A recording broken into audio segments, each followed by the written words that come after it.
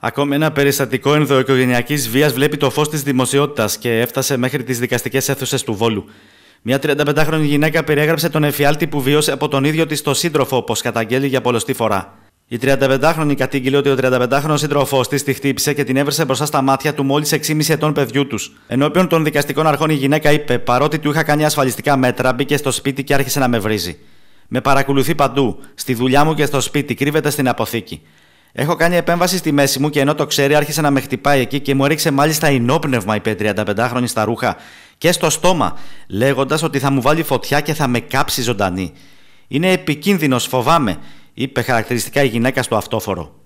Ο 35χρονο από την πλευρά του υποστήριξε ότι δεν τα έκανε όλα αυτά και είπε πως βρίσκονται σε διαδικασία επανασύνδεσης το τελευταίο διάστημα. Το δικαστήριο πάντως τον καταδίκασε σε 11 μήνες φυλάκισης με υποχρεωτική έκτηση των τριών μηνών